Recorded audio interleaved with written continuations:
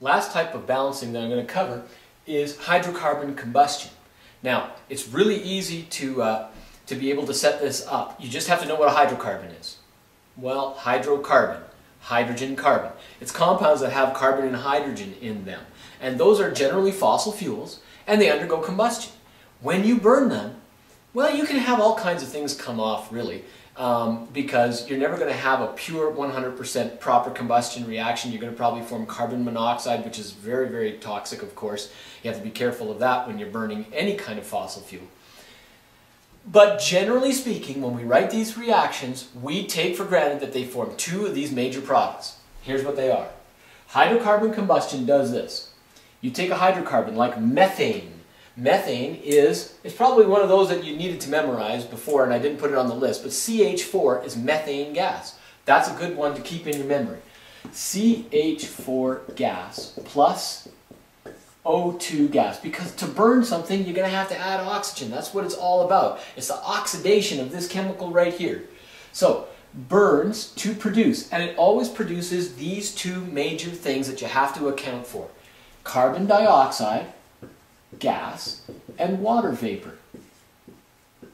H2O gas. Well, there you go. That's it. Anytime you burn a hydrocarbon, it's plus O2 makes CO2 plus H2O.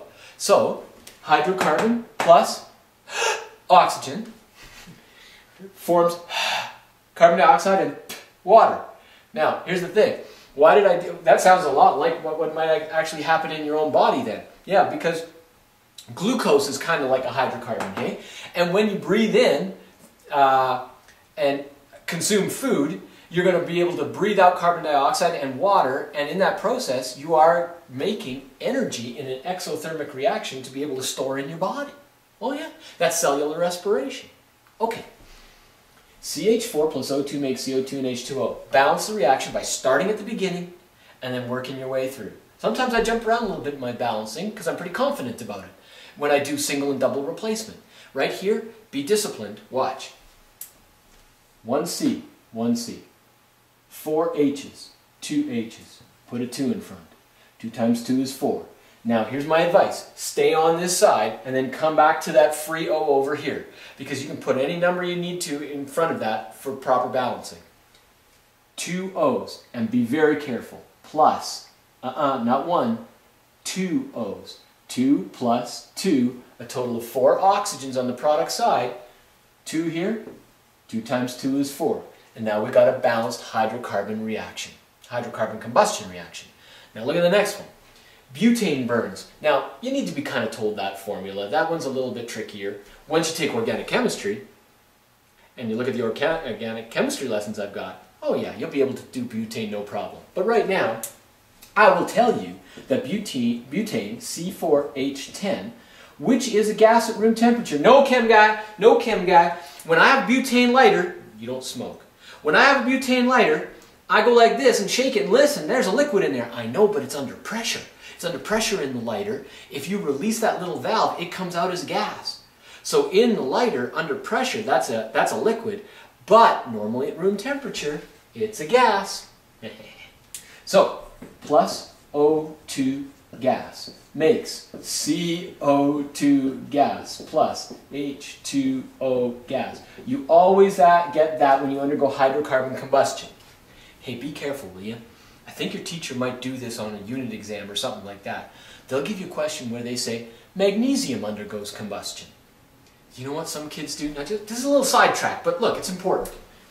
They'll go, oh, there's magnesium right there, plus oxygen and that's going to make, and then they go CO2 plus H2O. Ah, magnesium doesn't make carbon dioxide and water when it combusts. Look, this isn't hydrocarbon combustion. That's just actually an element and an element coming together, and that's actually going to be called, what? Composition, right? Or simple composition. Mg2 positive, O2 negative makes MgO. That's what that forms, not CO2 and H2O because you're not going to get, what are you doing? Just inventing carbon on this side when you had magnesium over here. Don't do that. Just be careful. Don't do that. I've seen it. It hurts. Four C's. Four C's. Ten H's. Five times two is ten H's. Stay on that side. 4 times 2 is 8 oxygens plus 5 oxygens is 13 oxygens. 13. And then you look at this and you say, ah, 2 times something equals 13. Well, actually, you know, 2 times 6 and a half is 13, right? So that's what you can put in front. 6 and a half. And you're going to say, oh, uh, you got a fraction there. That's not good. Oh, you don't like the way I wrote that? Okay. Well, instead of saying, because you know you needed 13 oxygens, you could go 13 over 2. No, that's still a fraction. You can't do that. Who said you can't do that? That's totally legit, and that's just fine. And if you're going to be doing later on in senior chemistry, you're going to be doing heats of formation equations, you better be able to use fractions. Because if you can't, you ain't going to be able to balance those reactions properly. I know. Your teacher says use lowest whole number ratios in balancing. So guess what? That's what you do. And that's not a problem. As a matter of fact, that's standard form, right? I'm just telling you, is this legit? Is this right? Yes, it's right. Okay. But if you don't like that, what you do is, I always balance it with the fraction, and then you just multiply everything by 2 to get rid of it. So you're going to have 2 here, you're going to have 13 here, you're going to have 8 here, you're going to have 10 there. And now it's balanced using lowest whole number ratio. And that is hydrocarbon combustion.